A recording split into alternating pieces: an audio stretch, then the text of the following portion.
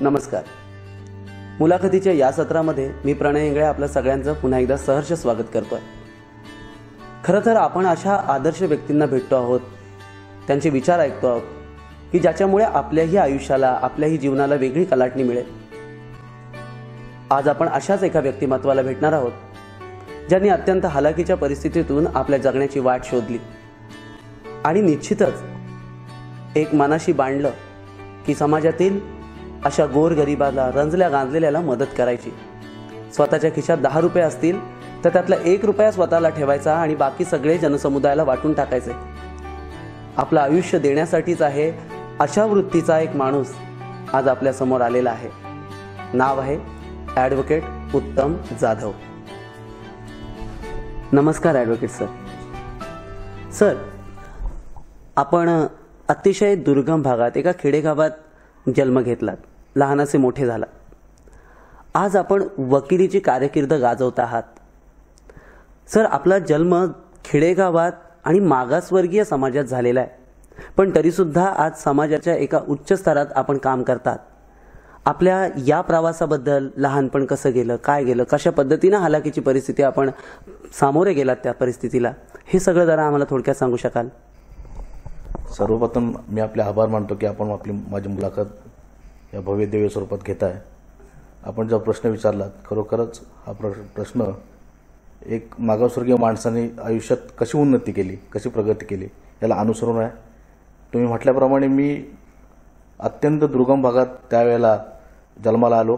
गेल्या तीस चाळीस वर्षाची जी परिस्थिती पाहिली त्या परिस्थितीमध्ये तुम्ही जर जाणीव केली त्या परिस्थितीची तर अत्यंत भयानक परिस्थिती होती. अगदी घरं केंबळाची होती. साधनं येण्या जाण्याची साधनं नव्हती. प्रवासाची साधनं नव्हती रस्ते नव्हते. अशा दुर्गम परिस्थितीत आईवडील कमी शिकलेले असले तरी आम्हाला प्राथमिक शाळेत टाकलं तळेगाव असेल माधोशी असेल. प्राथमिक शाळेत शाळेत टाकल्यानंतर ते शिक्ष प्राथमिक शिक्षण होत असताना नंतर माध्यमिक शाळेत आम्ही जायला लागलो. माध्यमिक शाळा ह्या गावापासून म्हणजे वांजोशी गावापासून जवळजवळ तीन चार किलोमीटर असायची. आम्ही सर्वच जण पायी जाणं पाच किलोमीटर येणं पाच किलोमीटर असं दहा दहा किलोमीटर प्रवास करायचो. ऊन वारा पाऊस कशाशीही तमानं बाळगत प्रवास करायचो. तिथं माझं शिक्षण जवळ आठवी नववीपर्यंत झालं. त्याच्यानंतर शिक्षणाच्या पुढील वाटचालीसाठी मी महाडमध्ये हॉस्टेलमध्ये राहून शिकलो दहावीपर्यंत. तदनंतर मग दहावी झाल्यानंतर दहावी पास झाल्यानंतर मी मुंबईच्या बुद्धभवन फोर्टमध्ये जे सिद्धार्थ लॉ कॉलेज आहे सिद्धार्थची पीपल पीपल एज्युकेशन सोसायटी आहे त्या सोसायटीमध्ये मी ग्रॅज्युएशन केलं. त्या त्या तदनंतर मी वकिली करायला म्हणजे वकिली शिकण्यासाठी मी सिद्धार्थ आनंद भवन येथे मी प्रवेश घेतला. पण हा जीवनातला जो प्रवास आहे तो अत्यंत हालाकीचा खडतळ होता. वेळेत म्हणजे ज्या प्रा- मूलभूत गरजा असतात त्या मूलभूत गरजासुद्धा आमच्या त्यावेळेला पुऱ्या होत नव्हत्या. त्या काळात म्हणजे माझे नातेवाईक असतील किंवा मामा असतील या सगळ्यांनी मदत केली. माझे वडील तर हॉटेल कामगार होते आई शेतकरी होती. या अवस्थेत आम्ही तिथे शिकलो आणि मी वकील झालो. वकील झाल्यानंतर मी गावाला आलो. आणि मग गावाला आल्यानंतर एक सामाजिक क्षेत्रात माझं काम वेगळ्या वकिली करत असताना सामाजिक क्षेत्रात काम सुरू झालं. याची आपल्याला जाणीव मी करून देईनच पुढच्या भागात. परंतु हे करत असताना मी एक राजकीय पक्षात काम करायला सुरुवात केली त्यावेळेला मी प्रॅक्टिस करत असताना वकिली करत असताना. सुदैवानं आपण त्यावेळेला मी इथं आलो तेव्हा मी महाड लेबर कोर्टात प्रॅक्टिस करत होतो. आणि तेव्हा प्रत्येक जिल्ह्यात हे न्यायालय आली जे जे न्यायालय पूर्वी फक्त मुंबई इंडस्ट्रियल कोर्ट असं ठाणे किंवा माटुंगामध्ये तिकडे असायची. त्या विभागातून जी कोर्ट प्रत्येक जिल्ह्यात पसरली गेली जिल्ह्यात दिली गेली आणि मी तिथे प्रॅक्टिस करायला लागलो. ते प्रॅक्टिस करता करता मी सामाजिक क्षेत्रात काम करायला लागलो. सर आपण म्हणालात आपण वकील झालात.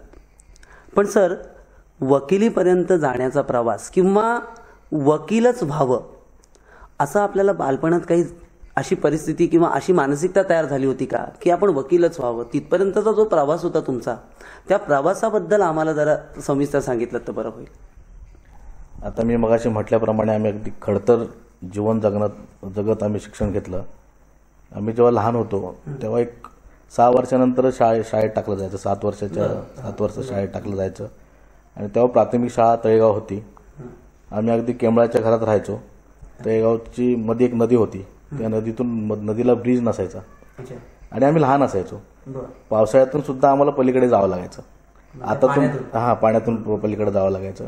कधी कधी अशी असा प्रसंग यायचा की जोरदार पाऊस आला तर आम्ही पलीकडे राहायचो आई आई वडील अलीकडे राहायचे. आणि आम्ही लहान सात आठ वर्षाचे न- आ- आठ वर्षाचे नऊ वर्षाची मुलं भारी भारी दहा वर्षाची मुलं जी प्राथमिक शाळेत जातात. ते अगदी रडत बसायची. आणि त्यांना बघून आईवडील पलीकडच्या बाजूला रडत बसायचे. अशा भयानक परिस्थितीमध्ये आम्ही तिथं शिकत होतो. एक माझ्या जीवनातला प्रसंग सांगतो. जेव्हा मी लहान होतो आणि मला शाळेत सोडलं गेलं शाळेत सोडल्यानंतर प्राथमिक शाळेत का आईवडील थांबत नाहीत ते घरीच येतात शेतीवाडी करणारे लोक असतात. आणि एक दिवशी माझ्या मनात मी थोडा खोडकळ असल्यामुळे माझ्या मनात आलं घरी जायचं. आणि मी माझी दप्तर तिथं ठेवलं. आणि मी निघालो. पण नदीला त्यावेळेला पूर होता. नदीला पाणी होतं नदीत घुसलो. आणि नदीच्या मध्यावर आलो. आणि घरी जायचं. म्हणजे भूक लागली म्हणून घरी जायचं. या उद्देशाने नदीच्या मध्ये आलो. आणि काही लोकांनी मला शेतात जे काम करणारे ते पाहिलं. आणि पाहिल्यानंतर मला त्यांनी नदीतून बाहेर काढलं. एवढा दुर्दैवी प्रसंगातून त्यावेळेला वाच वाचलो. मग त्यावेळेला माझ्या आई आईवडिलांना वाटलं की हा मुलगा या पलीकडे जातोय म्हणजे शाळेतून कसा येईल पुढे शिक्षण कसं होईल की एकुलता एका त्यातला काही अपघात होईल. आणि मग माझ्या आईने एक निर्णय घेतला की माझे मामा जे वांजोशीला राहतात त्यांनी मला या मामाकडे आणून ठेवलं. तशी परिस्थिती हालाकीची होती. आमच्या मामांची परिस्थिती चांगली बऱ्यापैकी होती आणि त्यांनी इथं मला शाळेत ठेवलं. इथं पण शाळा दूर होती. इथं माझं वांजोशी गाव आहे तिथे तिसरी चौथीपासून आम्ही शाळा शिकायला लागलो. इथे शिक्षण झालं. इथेही सुद्धा आम- आम्हाला एक शिस्त होती वेगळी शिस्त होती. सकाळी लवकर उठायचं गुरांशी जायचं नऊ वाजेपर्यंत त्यांचं काही श- गुरांचं गोठा झाडाचं शेण काढायचं. त्याच्यानंतर घरी यायचं हातपाय धुवायचे आंघोळ करायची शाळेत जायचं. संध्याकाळी आलो तेही थोडंफार गुरांना बांधायची त्यांना चारा चार घालायचा त्यां- त्यांचे दूध काढायचं ह्या सगळ्या धारा काढायच्या. या सगळ्या गोष्टी आम्ही त्यावेळेला केल्या. शेळ्या होत्या त्या बाळगायच्या या सगळ्या इथं केलं अत्यंत कष्टाने हे शिक्षण यावेळेला झालं. पूर्ण ग्रामीण. ग्रामीण पूर्ण ग्रामीण. अत्यंत म्हणजे त्यावेळेची जी परिस्थिती होती ती आता ती आताच्या परिस्थितीत संगणकीच्या टिटोरच्या युगात ती परिस्थिती पाहायला मिळणार. पण त्यावेळेला आम्ही निरोगी होतो. घरचं दूध असायचं घरच्या मटण मच्छी मटण घरचं असायचं. या सगळ्या पौष्टिक आहार खाण्यापिण्याची काय इथे काय आबळ नव्हती. तशी मी तळेगावात राहिलो तिथं परिस्थिती हालाकाची होती. मामांकडे आलो परिस्थिती तेवढी हालाकाची नव्हती. पण काम मात्र शिस्तीप्रमाणे दररोज काम करावं लागलं. कष्टाची कामं इथं होतीच. म्हणजे मुलं आली त्याने बसून ठेवायचे नाहीत कंटिन्यू कामं करावी लागायची. अशा परिस्थितीत. आणि त्यावेळेला काय एक गायडन्स नव्हतं. गायडन्स म्हणजे एखादा अभ्यास घेणारे आता आपण मुलांना अभ्यास घेतो. त्यावेळेला शाळेत शिक्षक ठेवतील शिकवतील तेवढाच अभ्यास करावा लागायचा. दुर्दैवाने त्यावेळेला आम्हाला सातवीपर्यंत एकच सहावीपर्यंत एकच शिक्षक होते ठाकूर गुरुजी होते. आणि ते एक ते सहावीच्या वर्गापर्यंत शिकाय शिकवायचे. आणि त्यांनी शिकवलेलं आम्ही विसरलो नाही त्यामुळे त्यावेळेला शिक्षक सुद्धा त्या पद्धतीने त्यांनी होते. त्यानंतर अनेक असे प्रसंग जीवनात आले की एक सामाजिक परिस्थितीकडचे पाहिले आम्ही. आणि मनात वाटायचं का आपण उच्च शिक्षित आहोत. पण अशी मनात कधीच कल्पना नव्हती की आपण वकील व्हावं माझ्या वडिलांना तर वाटलं होतं की माझा मुलगा बारावी झाला तो शिक्षक व्हावा. एक त्यांची अल्पसमाधानी माणसं होती म्हणून त्यांच्या अपेक्षा कमी होत्या की आपली मुलं मानसिकता. तशी होती की माझा मुलगा मास्टर झाला तरी चार कुठेतरी चांगल्या सरकारी नोकऱ्या त्यावेळेला मास्टर ही मोठी कल्पना होती. अगदी शिक्षक आले तरी लोक मुलं घाबरायची रिस्पेक्ट करायचे आणि मास्तर अख्खा गाव त्यावेळेला हँडल करायचा त्यावेळेला सांभाळायचा चांगल्या गोष्टी सांगायच्या त्यामुळे माझ्या वडिलांची वकील होणं किंवा आई वडिलांची वकील होई हे त्यांना दिव्य स्वप्न होतं. मीही कधी स्वप्न पाहिलं नव्हतं. म्हणजे निदान बारावी पर्यंत तरी दहावी. माध्यमिक शिक्षण उच्च माध्यमिक शिक्षणच्या उंबरट्यावर हे तरी मी कधी पाहिलं नव्हतं. म्हणून मी शिकत असताना बारावीला सुद्धा चांगल्या पद्धतीने पास झालो चांगले मार्क्स पास झालो. आणि तेव्हा कोकण आपलं मला वाटतं कोकण भवनमध्ये तेव्हा बारावीच्या बेसवर आम्हाला एस सी एस टीला विदाऊट डीएड करता. विदाऊट डीएड करता आम्हाला घेत होते. आणि वयाच्या अठरा वर्ष पूर्ण असायला पाहिजे होते त्यावेळेला. दुर्दैवाने मी मला पाच सहा महिने त्यावेळेला कमी पडले आणि मी शिक्षक झालो नाही. शिक्षक न झाल्यामुळे पुन्हा मला मग पुढचं शिक्षण घेण्याची संधी मिळाली. अत्यंत हालाकीच्या परिस्थिती त्यावेळेला आम्ही काढले. अगदी पाच सहाशे रुपये महिन्याला वडील पाठवायचे आणि त्यात सगळं भागवायचं. हा सगळी परिस्थिती होती. माझ्या पाठीमागे दोन बहिणी होत्या त्याही शिकत होत्या. अशा असताना देखील मला जेवढं करता येईल किंवा मला जेवढं देता येईल किंवा मला जेवढं शिक्षणासाठी पुढं पाठवता येईल म्हणून माझ्या आईवडिलांनी त्यावेळेला प्रयत्न केला. आणि त्याच्यामुळे मी पुढचं शिक्षण त्यावेळेला घेऊ शकलो. आपण एवढ्या हालाकीच्या परिस्थितीतून मार्ग काढलात. अगदी आईवडिलांचं स्वप्नच्या पलीकडे तुम्ही मात्र गेलेलात. पण आता जेव्हा तुम्ही शहरी भागात शिकायला गेलात तेव्हा ग्रामीण आणि शहरी शहरातल्या शिक्षणाचा वेगळा काही इम्पॅक्ट पडला का आपल्यावरती? आणि त्यातला काही अनुभव आम्हाला सांगितलात.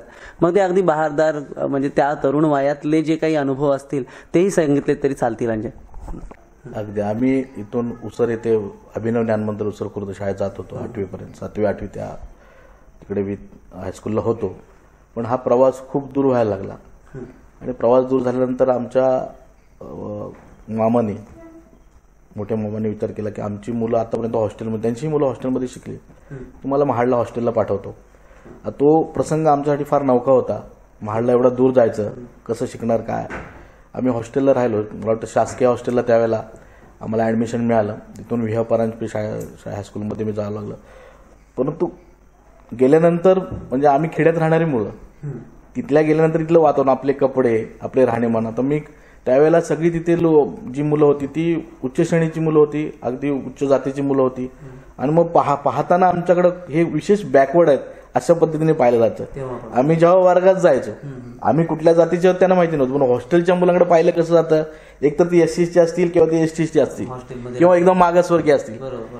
कारण परिस्थिती अशी होती की त्यावेळेला कपडे सुद्धा व्यवस्थित नव्हते.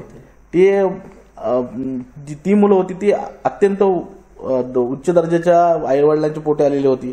त्यांच्याकडे सगळ्या गोष्टी अवेलेबल होत्या. अगदी माझ्यासोबत मेरिटमध्ये आलेला कौस्तुभ शेठ अं, शेठ म्हणून आहे. आता ते एम डी आहेत मला वाटतं. माझ्यासोबत एकोणीसशे चौऱ्याण्णव पंच्याण्णवला त्यांना चौऱ्याण्णव टक्के पडले महाराष्ट्रात तो पाचवा आला होता. माझ्या जो वर्गात होता तो. पण त्यांच्या वर्गात मी ए डिव्हिजनमध्ये होतो. आणि ती जी मुलं होती त्या मुलांचा जो अभ्यास स्किल होता तो आमचा नव्हता. आणि हॉस्टेलपासून शाळेचं अंतर जवळ तीन चार किलोमीटर होतं. तिथून आम्ही हायस्कूलला जायचो. पण हायस्कूलला जायचा तुम्ही दहावीला जेव्हा असता तेव्हा तुम्हाला एक्स्ट्रा पिरियड असतात. पण हॉस्टेलचं जेवण तर आम्हाला अकरा वाजता मिळायचं.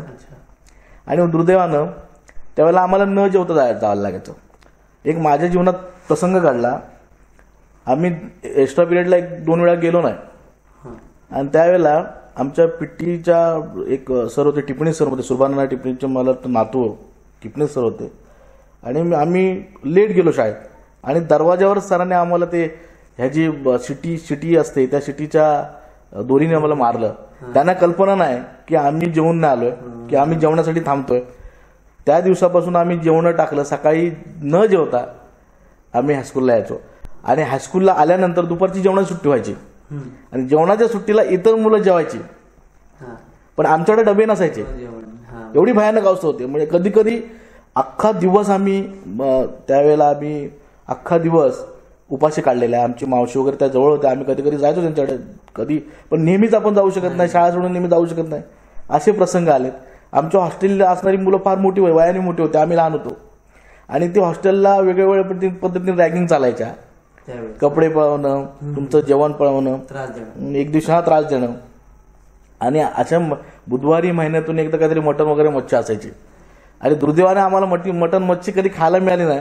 कारण आम्ही जेव्हा शाळेतून घरी यायचो तेव्हा आमचं जेवण पावलं जायचं. तेव्हा तक्रार आम्ही कुणाकडे करू शकत नव्हतो. कारण सगळे मोठे विद्यार्थी होते. अशा अवस्थेत सुद्धा आम्ही शिकलो. मी तर ठरवलं होतं की आपण दहावी पास व्हायचंच. जर दहावी पास झालो नाही तर पुन्हा घरी जायचं नाही. महाड इंडस्ट्रीमध्ये कुठेतरी कामाला लागायचं मजूर म्हणून काम करायचं. एवढ्या एवढ्या हालाकीच्या बसीत आम्ही तिथे राहिलो. पण एक संकल्प होता की आपण चांगला अभ्यास करून पास व्हायचंच. आणि सुदैवाने मी त्यावेळेला दहावी पास झालो. दहावी पास झाल्यानंतर मग आ- आता नोकरी करायची नाही. काहीतरी पुढे शिकायचं. पण मुंबईला जरी ते नोकरी करायची असेल किंवा पुढचं शिक्षण घ्यायचं असेल तर इथं आपल्याला शक्य होणार नाही.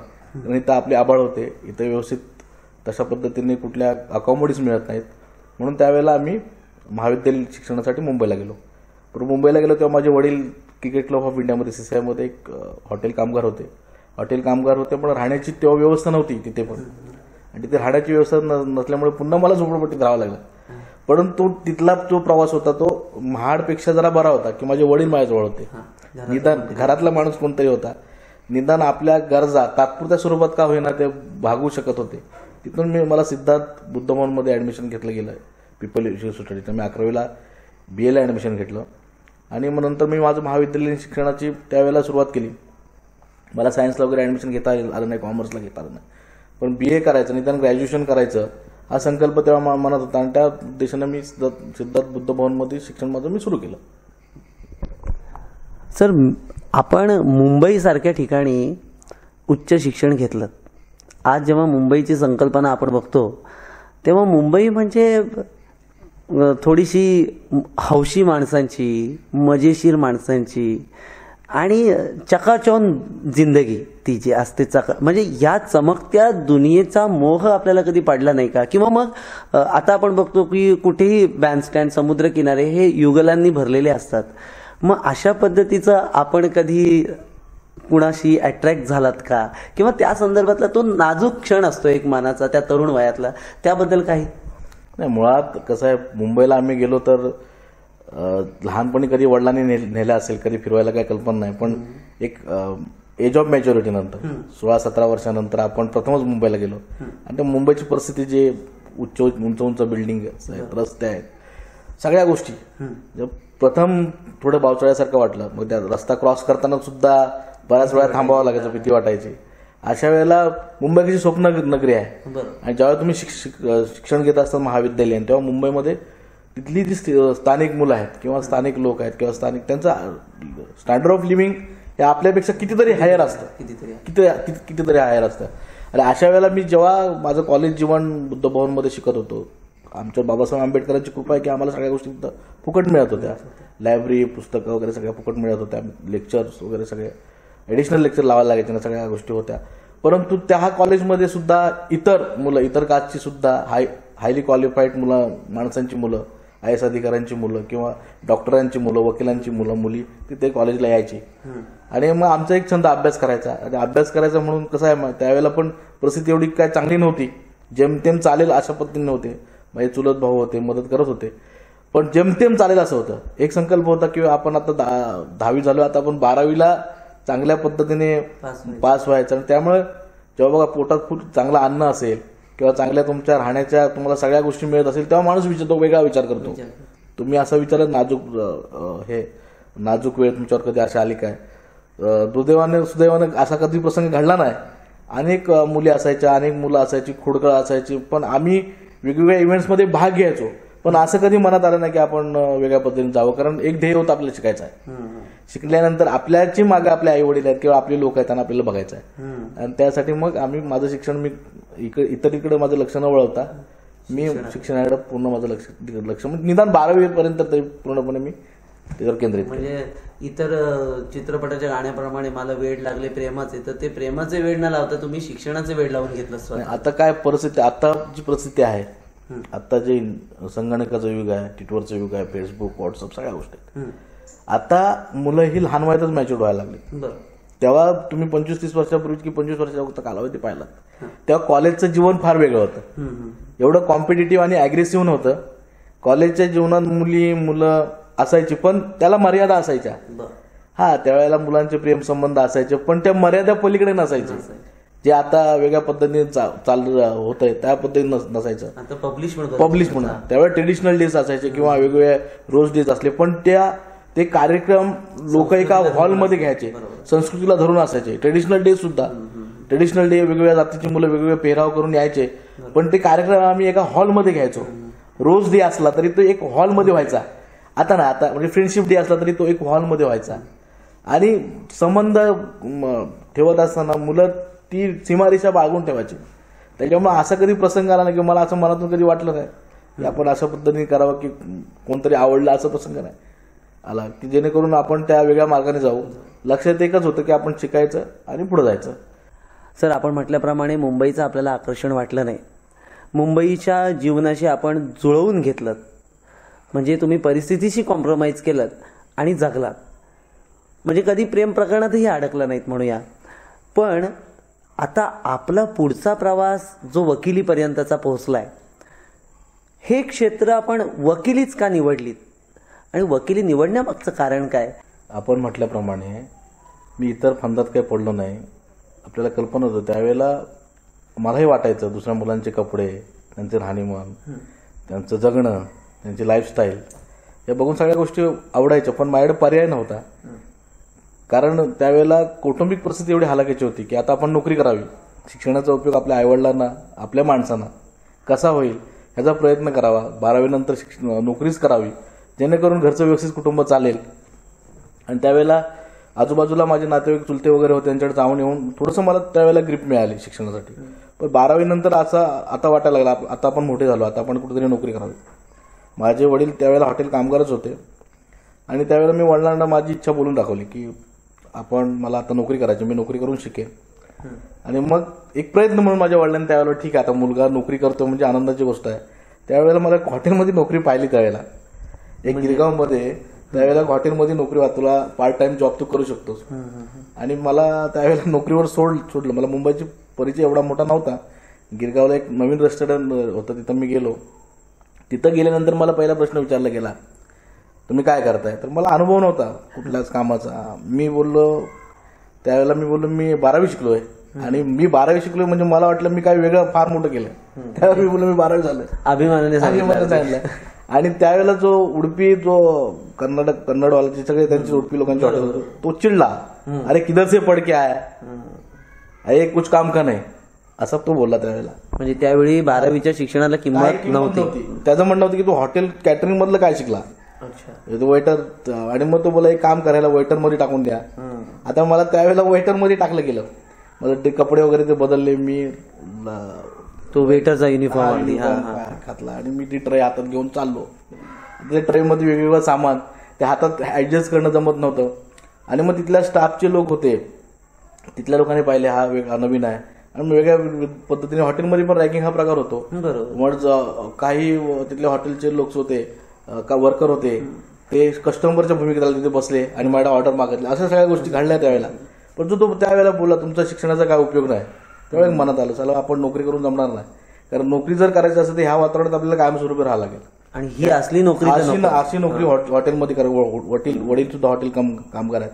आपण पुढे काहीतरी करायला पाहिजे. आणि मी त्या दिवशी सकाळी इंटरव्ह्यू पर्यंत दुपारपर्यंत थांबलो. आणि दुपारहून नोकरीवरून पाहलो तिथून जीवनात ठरवलं की नोकरी करायची नाही. आणि मग मी ठरवलं एक व्यावसायिक म्हणून आपण काम करूया. आणि व्यावसायिक करायचं म्हटलं तर व्यावसायिक बारावी नंतर वडील म्हटले तर तुम्हाला तुम्हाला पुढे शिकायचं असेल तर तू शिकू शकतोस. आणि मग त्यावेळेला पण परिस्थिती अशी होती की वडील मला त्यावेळेला दररोज पाच रुपये द्यायचे. आणि मी वेगवेगळ्या ठिकाणी राहतो. तिथून प्रवास वगैरे या सगळ्या पास वगैरे कॉलेजकडून मिळायचे. तर सर त्यावेळेला पाच रुपयात फक्त वडापाव आणि चहा मिळू शकत होती. बरोबर. आणि मी तरुण होतो. भूक लागायची दुपारी. त्यावेळेला मला मग एक जाणवलं की मी आपण हाल व्हायला लागले. तर मी वडिलांना बोललो की मला पाच रुपये तुम्ही देताय ते मला पुरत नाहीत. मला कल्पना होती की वडील मला दिवसाला दहा रुपये पण देऊ शकत नाहीत. एवढी भयानक अवस्था त्यावेळेला होती. आणि मग त्यावेळेला माझ्या वडिलांनी मग त्या ग्रॅज्युएशन सेकंड इयरला असताना एस वाय बी एला तेव्हा मला दहा रुपये त्यावेळेला द्यायला सुरुवात केली. आणि तिथं माझं पीपल युनिव्हर्सिटीमध्ये माझं ग्रॅज्युएशन झालं. पण एक पद्धत होती त्यावेळेला. जेव्हा पण आपली शाळा सुरू असेल किंवा कॉलेज सुरू असेल तेव्हा आपण तिथं राहायचं. आणि जेव्हा गणपती सुट्टी पडेल दिवाळीची सुट्टी पडेल तेव्हा गावाला यायचं. आणि गावाला अहोरात्र जे पण काम असेल शेतीचं ते काम करायचं. कंटिन्यू काम करायचं. शेती सोडायची नाही. शेती सोडायचं नाही कारण गाव सोडायचं नाही. महत्वाचं काम उपजीविकेचं तेही होतं. आम्ही मामांच्याकडेच होतो. इथं शिस्त होती की शेतीचं काम कंटिन्यू करतो मग तुम्ही वकील होईपर्यंत मी शेतीचं काम केलेलं आहे ते. आणि त्याच्यानंतर मी ग्रॅज्युएशन झालो. मी आ- एक प्रसंग सांगतो. जेव्हा मी लास्ट इयरला असताना बी ए बी एला असताना मी कफरेडीत आमचं झोपडत होतो. झोपडत राहत होतो. अच्छा. आणि माझा इकॉनॉमिक थेरी हा पेपर होता. Economic last. लास्ट इयरला आणि ते पेपर्स एप्रिल मेच्या दरम्यान असत मेच्या दरम्यान असतात पंधरा एप्रिल. आणि अवकाळी पाऊस झाला. अच्छा अवकाळी पाऊस झाला त्यावेळेला. आमची झोपडी त्यावेळेला समुद्राच्या साईडला होती बाजूला होती. आणि त्या झोपड्यात पाणी शिरलं. भरतीचं पाणी पाणी शिरलं. पावसाचं. आणि मी रात्रभर ते पाणी उपसत होतो. सकाळी पेपर होता अकरा वाजता. इकॉनॉमिक थेरी आणि मी त्यावेळेला इको इकॉनॉमिक आणि सोशल सायन्स माझा विषय होता लास्ट इयरला आणि मग त्यावेळेला पेपर तर द्यायला पाहिजे आणि पास तर होणंच आहे. का पास का होणार जर आपण नापास झालो तर पुन्हा हे व्याप सहन करावे लागतील वर्ष पुन्हा पुन्हा ते वेटरचं ट्रे वगैरे सगळ्या सगळं गोष्टी. आठवल्या. पुन्हा वडिलांना त्रास होईल. आणि मग तो पेपर दिला मी ग्रॅज्युएशन झालं. ग्रॅज्युएट झालो. मी जेव्हा ग्रॅज्युएट झालो तेव्हा माझ्या वडिलांनी सांगितलं की तो पास झाला. पण आता पास झाल्यानंतर पुढे एल एल बीला ऍडमिशन घ्यायचं आहे. पण तुम्ही ग्रॅज्युएशन झाल्यानंतर मी मामाकडेच होतो. आणि मग तदनंतर मी मुंबईला गेलो. मुंबईला म्हणजे माझ्या मामांची मुलगी तेव्हा होती भारती शिंदे. मनसेमध्ये मागे उभी होती. त्या मामाने मग नंतर विचार केला की हा मुलगा खूप कष्ट करतो हा मेहनत करतोय. याला आपण आता जवळ ठेवायला पाहिजे हा शिकू शकतो. आणि मग तो टर्निंग पॉईंट आहे त्यांनी मला तिकडे बोलवलं. मला त्यावेळेला प्रकाश शिंदे म्हणून माझे मामा युनि क्षेत्रात काम करतात त्यांनी मला त्यावेळेला एल एल बीला तिथे ॲडमिशन घेऊन दिलं. आणि मग माझं एल एल बीचं तीन वर्ष चांगल्या पद्धतीने जायला सुरुवात झाली. हे करत असताना मी जेव्हा सेकंड इयरला गेलो दुसऱ्या एल एल बीच्या दुसऱ्या वर्षाला गेलो आणि त्यावेळेला दुर्दैवाने माझ्या वडिलांना अर्धांगवाईचा प्रॉब्लेम झाला अडचण झाली. आणि मला माझ्या वडिलांना नोकरी सोडावी लागली. व्हॉलेंटरी रिटायरमेंट घ्यावी लागली. म्हणजे नशिबाला सुख बघायचं होतं. आणि हे झाल्यानंतर आता करणार काय? मुंबईला तर आपण एक डिपेंडंट जेव्हा आपण असतो जेव्हा वय आपलं होतं तेव्हा आपल्याला मनातून वाटतं की आपण आपल्या नातेवाईकांवर किती वेळ बोज म्हणून राहायचं. ते आप- ते ते आपल्याला कोणती हेळसण करत नाही. पण आपल्या मनात डिपेंड एक स्वाभिमानी म्हणून डिपेंड मनात राहतं की आपण किती वेळ राहायचं. आणि मी मामा युनिट क्षेत्रात होते. मी त्यांना म्हटलं की आता मी केवळ शिकणं बरोबर नाही. की तुमच्या जे युनिट्स आहेत तिथं मला कुठेतरी पाठवा. आणि सुदैवाने महाड युनिटमध्ये मला तेव्हा सेकंड इयर एल बी असताना पाठवलं. त्यावेळेला माझी प्रेझेंटी असायची. पंच्याहत्तर टक्के प्रेझेंटी करणं गरजेचं होतं. माझी बहीण होती भारती शिंदे मामांची मुलगी. रेग्युलर माझी अटेंडन्स लागायची. एवढी चोरी आयुष्यातली पहिली चोरी. की ते ती अटेंडन्स लावायची. इलाज नव्हता. मला महाडमध्ये राहायचं होतं. मला प्रॅक्टिसच्या अनुषंगाने अभ्यास पण करायचा होता. आणि युनियन क्षेत्रातल्या काही गोष्टी गोष्टी मला समजून घ्यायच्या होत्या. मी सेकंड इयर थर्ड इयर स्वतः सोबत राहून केलं तिथे. भाई जगतापचं ऑफिस होतं. त्या कार्यात मला संघटक सचिव म्हणून ठेवलं. मी वकिली करत असताना ऑफिसमध्ये झाडू सुद्धा मारलेले आहे येणाऱ्या माणसाला संघटक म्हणून व्यवस्थित ट्रीटमेंट देण्याचं काम मी त्यावेळेला केलं. इन्क्वायरी डिपार्टमेंटचं सर्व मी त्यावेळेला म्हणजे वकिली सोबत तुम्ही राजकारणात पदार्पण केलं त्यावेळेस का? आता एक कसं आहे, संघटक एक तुम्ही जेव्हा संघटक म्हणून काम करता तेव्हा ऑर्गनाईज क्षेत्रात अनऑर्गनाईज क्षेत्रामध्ये जे इंडस्ट्रियल कामगार जे असतात इंडस्ट्रीमध्ये कामगार असतात त्याच्या वेगवेगळ्या अडचणी असतात. कधी कधी सामाजिक क्षेत्रात काम करत असतं काही उगमस्थान लागतात. आणि युनियन क्षेत्रातली ती गोष्ट माझी माझ्या जीवनात ती सामाजिक क्षेत्रात काम करण्याचं उगमस्थान होतं. मी असं पाहिलं की मी जेव्हा वकील नव्हतो जेव्हा माझ्याकडे लोक यायचे ते अगदी चप्पल फाटकी घालून यायचे जी नोकरी गेलेल्या असायच्या. त्याला न्याय देताना वेगळा आनंद लावायचा की आपण त्यांना आपण न्याय देऊ शकतो किंवा त्यांना आपण कोर्टाच्या काही गोष्टी पटवून देऊ शकतो. अगदी वकील झालो नव्हतो वकील होण्याच्या मार्गावर होतो. म्हणजे थर्ड इयर्सला ऍडमिशन घेतलं प्रवास. चालू होता. त्यावेळेला मला तिथून सामाजिक क्षेत्राची आवड निर्माण झाली. की लोकांचं काम केल्याने लोक किती सुखी होतात. त्यांनी अडचण आपण प्रतिकूल परिस्थितीतून आलेले लोक लोक माणसं आहोत. आणि प्रतिकूल परिस्थिती आल्यामुळे दुसऱ्याची जाणीव आपल्याला असते. जाणीव होते. त्याच्यामुळे मी आपोआपच सामाजिक क्षेत्रात यायला लागलो. तिथंच राहून मी थर्ड इयरला चांगल्या मार्काने पास झालो वकील झालो. आणि साहेब ज्या वेळेला मी वकील झालो मी काळा कोट घातला. तिथपासून आपण कुठेही चौकशी करा. माझ्या जीवनात माझा सिनियर वकील कोणी नव्हता. अरे. मी स्वतः दोन तीन वर्षात वेगवेगळ्या ब्रीफ्स युनियनच्या. आता काय झालं जेव्हा युनियन क्षेत्रात काम करतो जे मोठे वकील होते त्यांच्या ब्रीफ्स माझ्याकडे यायच्या. डिपार्टमेंटल इन्क्वायरी यायच्या. क्रॉस एक्झामिनेशन यायच्या. मी ते कंटिन्यू वाचत राहायचो. आणि असं कळलं की वकील फाईल्स घेऊन फक्त बसतात. पण खरा वकील कोण? जो कोर्टात व्यवस्थित आपली बाजू मांडू शकतो. वकील व्यवसायात आणि त्या गोष्टी मी प्रत्यक्षात जाणवल्या. बोलका स्वभाव असल्यामुळे मी ताबडतोब वकील झाल्याच्या दुसऱ्या दिवसापासून कोर्टात उभा राहिलो. वा म्हणजे तुमचा हा जो प्रवास आहे तो वकिलीपासूनच तुम्ही समाजकारणात घुसलात आणि तुमची प्रॅक्टिस जी आहे ही प्रॅक्टिस प्रत्यक्ष माणसं